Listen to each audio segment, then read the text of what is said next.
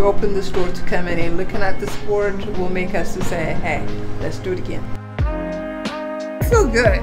What we know is our hard work, our intention, and what we put into it. And when you see customers or people recognizing that effort, it, it feels.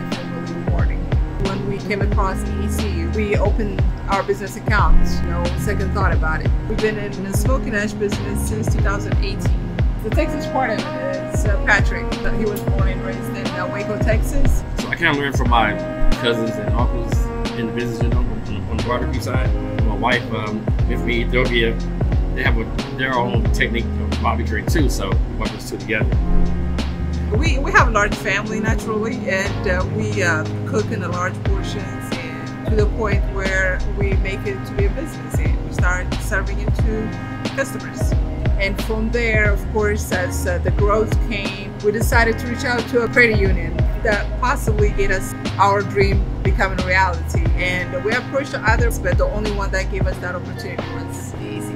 The uh, person who was helping us was uh, taking our business as if that was their own business, and they done everything they could to help us out.